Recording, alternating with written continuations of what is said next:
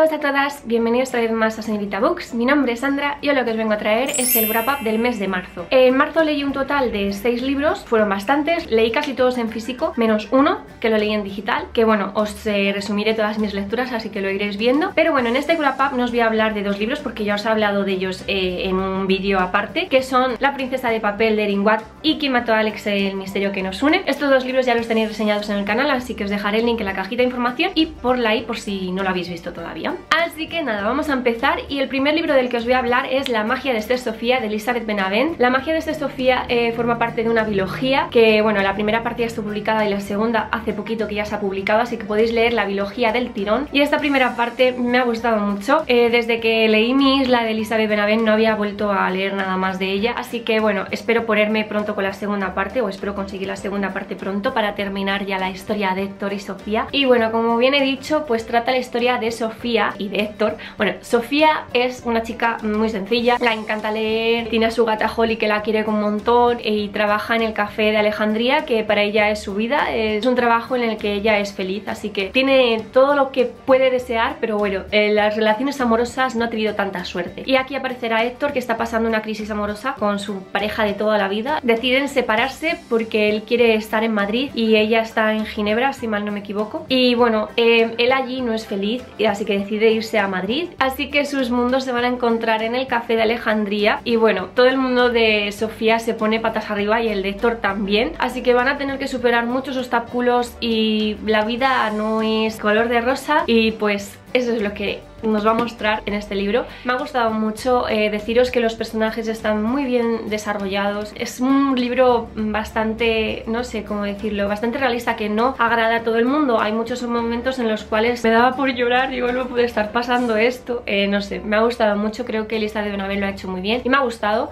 Estoy deseando ponerme con la segunda parte, así que ya os contaré. Otro de los libros que leí fue La Sociedad de la Rosa de Mary Lou. Es la segunda parte de la trilogía de Los Jóvenes de la Élite, que ya sabéis que la primera parte me encantó, así que estaba deseando ponerme con la segunda. Y ya en el mes de abril he leído la, tercera parte, bueno es que ayer termina la tercera parte y todavía estoy que no lo supero, ese final, madre mía. En fin, no os quiero contar mucho más, no os quiero hacer spoilers de nada, así que simplemente os diré que es la continuación de, de, eso, de la primera parte. Continuamos con la historia y aquí nos vamos a encontrar con una Adelina un poco más, ¿cómo decirlo? Es que es una nuestra protagonista principal es muy inestable y es así su personaje, por eso en este libro nos vamos a encontrar con personajes del anterior libro. De verdad que me ha encantado que uno de los personajes saliera en este libro. No os voy a decir quién, seguramente que quien lo haya leído me entenderá. Pero de verdad, o sea, madre mía, es que menudo sufrimiento. O sea, la historia es genial, la trama, todo el hilo de la historia. O sea, Mary Lou lo hace genial y me ha encantado. Y ya os hablaré de la tercera parte en el mes de, de abril, pero vamos, que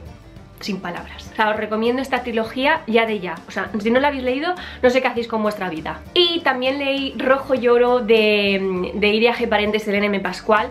Fue un libro también que me gustó muchísimo. Es un libro súper especial y muy diferente a todo lo que he leído de Iria G. Parente y Selene Pascual. O sea, es un libro muy diferente. La verdad que veo una evolución de las autoras en cada libro que leo y es que me encantan. Me encantan, me encantan, me encantan. Este libro trata la historia de Orión, que es un esclavo de Hera, bueno, desde que su madre murió, que es la, diosa del caos, pues como él era muy pequeñito, pues decidieron no castigarle porque a, la diosa del caos y a todos sus hijos los castigaron y los tienen como encerrados, vaya. Orión se queda con Hera y Hera pues lo esclaviza, básicamente, y está muy cansado de ello, por lo cual intenta escapar de, de Hera. Y también nos encontraremos con Asteria, que también está cansada de luchar y cansada de, ser esclavizada por el emperador. Todo su pueblo fue arrasado y, esclavizado y trabajan para el emperador, luchando como como gladiadoras y tiene que, tienen que sobrevivir para no morir. Está cansada de esto y quiere venganza y quiere escapar de todo esto. Así que como ambos buscan venganza, van a unirse y van a preparar lo que no está escrito. Dicho esto, os podéis eh, hacer a la idea un poco de todo lo que va a ir ocurriendo en este libro. Mm, bueno, o no sabéis a la, idea porque la verdad que tenéis que descubrirlo vosotros mismos. Es un libro mm, lleno de, de, acción, eh, están pasando cosas continuamente. Además, como trata esto de la mitología y todas estas cositas, pues es que seguramente que os guste mucho si este tema os gusta. Los personajes también están muy bien construidos, muy bien desarrollados, la trama me ha encantado, sobre todo la historia como de amor que había en este libro. A mí me ha gustado mucho, es una historia que se da poco a poco y sobre todo el final te deja como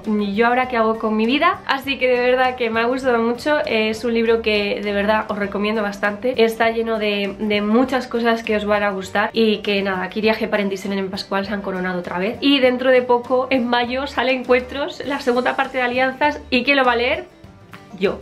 Así que si lo habéis leído y eso pues decidme qué os ha parecido. Voy a continuar porque me vuelvo un poco tonta mmm, con todo el hype. Pero bueno, y el último libro pero no menos importante eh, lo leí en digital y es Querido Hermanastro Este libro, eh, no sé, no sé por qué me llamaba la atención la verdad, la sinopsis y todo. Pues sí, es que necesitaba esos típicos libros que tienen clichés, están llenos de, tópicos y de todas estas cosas Pero mmm, se leen en nada y me gustan mucho. Así que bueno, decidí darle una oportunidad. El libro de Querido Hermanastro nos cuenta la historia de Greta que ella vive con su madre, con su padrastro, y de esto que va a venir a vivir con ellos el hijo de su padrastro, que se llama Elec, y él es muy inestable, o sea, es muy agresivo, muy mal educado, o sea, lo tiene todo este chiquillo, pero bueno, Greta es una buena chica y decide darle una oportunidad y decide tratarlo bien y bueno, que conocerlo y tal. Así que como ya comprenderéis lo que va a ocurrir al final, estos dos, pues una cosa lleva a la otra ¿Y qué os voy a contar? La historia, como quien dice, está dividido como en dos partes. La parte principal, que es cuando se conocen y demás, y pasan cositas. Y luego la, una segunda parte, que es cuando pasan los años y ellos ya como maduran un poco más y demás. Mm, la verdad que el libro al principio pensaba, no sé yo si me va a gustar o no. Pero luego eh, la segunda parte me ha encantado, me ha gustado mucho. Es que lo he devorado, me ha enganchado de tal manera que... Mm,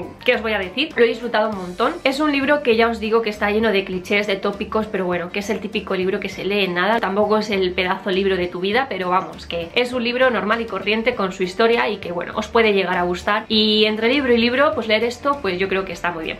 Así que nada, hasta aquí el wrap up, espero que os haya gustado mucho. Decidme en comentarios qué libro habéis leído o que os, yo que sé, si coincidís en alguna de las lecturas, decidme cositas en, comentarios que a mí me gusta mucho leeros. Y como siempre os dejaré todas mis redes sociales en la cajita de información para que, bueno, si me queréis seguir por ahí, pues que me sigáis y todas estas cosas. Y cuando tenga las reseñas en el blog os dejaré también el link en la cajita de información, si no se me olvida. Muchísimas gracias por estar ahí, por verme, por todo el cariño, por todo el apoyo y que os envío un besito muy muy grande y nos vemos en el próximo vídeo. Adiós.